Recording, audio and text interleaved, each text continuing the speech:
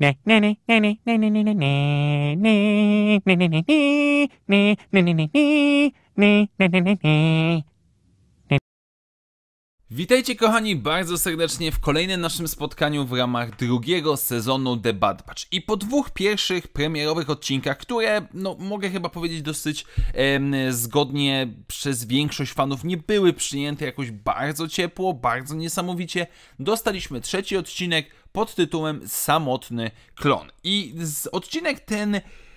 Z, powiedziałbym tak w dużym skrócie oczywiście na samym początku i jeszcze tylko zaznaczę, że Oczywiście recenzja ta jest w pełni spoilerowa. Jest to odcinek, który przywraca niemal w pełni moją wiarę w The Bad Batch, ponieważ dostajemy tutaj odcinek, który pokazuje nam niemal w 100% czym może być i czym chce być czasami ten serial i stara się osiągnąć jak najwyżej ten poziom. Ponieważ skupmy się na samym początku na krótkim opisie fabularnym.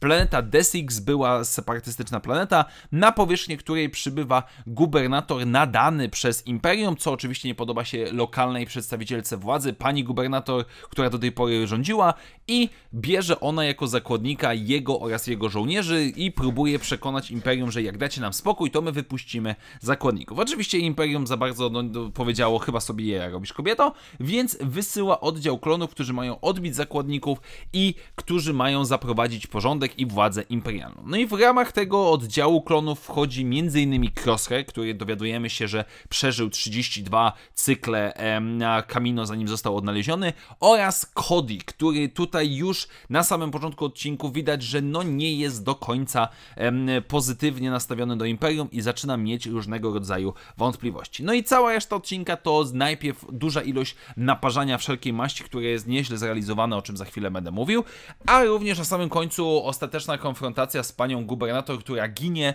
na rozkaz imperialnego gubernatora z ręki Crosshaira, co ostatecznie przekonuje Cody'ego, że trzeba odejść z Imperium, a Crosshair, można powiedzieć, wpisuje się w łaski ponownie Ramparta, żeby kontynuować swoją służbę na rzecz Imperium.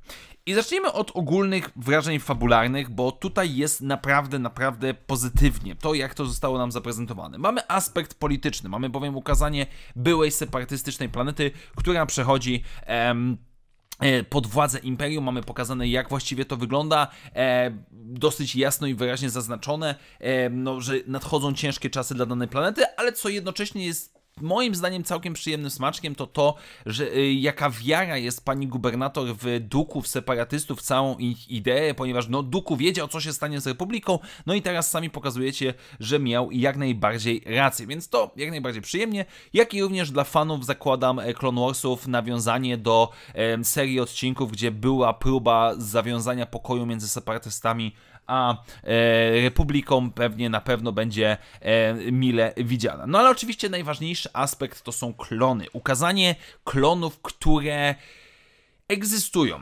Mają różne swoje problemy. Mamy wspomniany y, akt mówiący o poborze do wojska i klony obawiające się, że no jeżeli to zostanie przepuszczone, no to my już nie będziemy mieli co właściwie robić. Mamy Crosshaira, który wierzy w Imperium, który działa dla Imperium, ale jednocześnie spotyka się z pewnego rodzaju ostracyzmem ze strony innych klonów. No i mamy oczywiście Kodiego, e, który e, tutaj no ostatecznie odchodzi od Imperium i jego losy, zakładam, będą pewnie kontynuowane w połączeniu z naszym The Bad Batch. Jednak co jest najważniejsze w tym odcinku, co mi się najbardziej niesamowicie podoba, to to, jak on jest niesamowicie zrealizowany. Tym razem za reżyserię odpowiedzialny jest Saul Ruiz, e, za scenariusz Amanda Rose Munoz i ten duet z pomocą Mata Miknowica, który jest story editorem, dali nam coś, co z jednej strony nie jest może jakoś bardzo skomplikowane, może nie jest jakoś bardzo wyszukane, ale jest moim zdaniem naprawdę momentami rewelacyjnie wykonane. W momencie, kiedy nasi bohaterowie mają milczeć, milczą. W momencie, kiedy mamy coś pokazać za pomocą samego obrazu, za pomocą samej muzyki, mam tutaj na myśli przede wszystkim przejęcie władzy przez Imperium Ostateczne na planecie pod koniec odcinka, e, gdzie mamy, e, gdzie mają być emocje, tam ma być to dobrze zrealizowane. Ba, nawet to słynne pium pium bam bam powiedzmy, które, na które czasami narzekam, e, jeżeli chodzi o te animacje, jest tutaj naprawdę solidnie jak na ten poziom animacyjny wykonany. No nie będę kłamał, scena, gdzie Crosshair pod ostrzałem z czołgu celuje i cierpliwie czeka, aż przeciwnik mu się wystawi, żeby zniszczyć cały czołg, jest rewelacyjna. Naprawdę, naprawdę świetnie to jest zaprezentowane. Generalnie ciężko jest mi się tak naprawdę przyczepić do czegoś w tym odcinku. To, to, to naprawdę działa pod względem emocjonalnym, pod względem przygotowania nas do dalszej części tego sezonu. Co będzie właściwie się działo z naszymi bohaterami. Widzimy em, Crosshaira, który no wierzy w to, że jeszcze wierzy w to, że musi służyć Imperium, ale z drugiej strony może mieć jakieś tam powiedzmy wątpliwości. Mamy Ramparta, który no już nie kryje swojej dosyć mocnej niechęci względem klonów.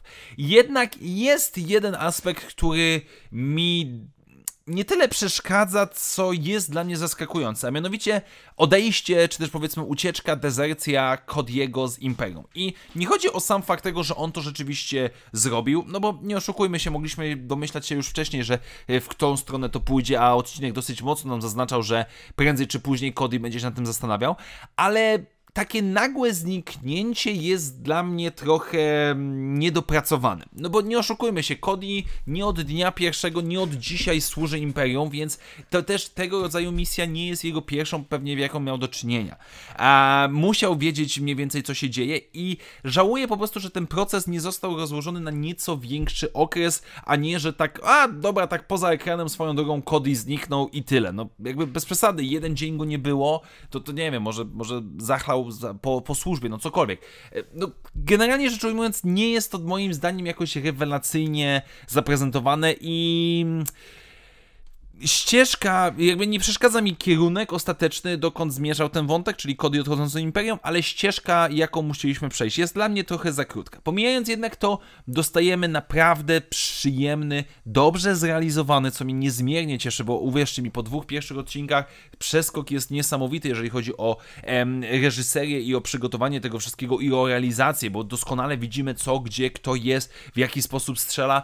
Też mamy oczywiście efekciarstwo em, serialowe, bo znowu akcja z tymi powiedzmy wskaźnikami, czy też lusterkami e, Crosshaira, za pomocą czego on strzela przez e, zarogów, jest e, jakby przesadzone, ale sposób na przykład, w jaki ostatecznie zniszczy tego droida taktycznego jest przyjemny. No po prostu dobrze mamy zmontowane ujęcie, jak ten strzał leci przez całą klatkę schodową i trafia idealnie naszego droida w głowę i to najzwyczajniej w świecie daje radochę. Mamy bardziej mroczniejszy klimat, jeżeli tak to można określić, mamy coś bardziej poważnego i kurde, Mam nadzieję, że ten odcinek jest tylko i wyłącznie zapowiedzią i wstępem do em, większej ilości tak może nie dorosłych, bo to może jest złe określenie, ale bardziej wymagających odcinków e, całego sezonu. Naprawdę, naprawdę mam nadzieję, że w tą stronę będziemy iść i że większość przynajmniej tego sezonu będzie utrzymana w tym stylu.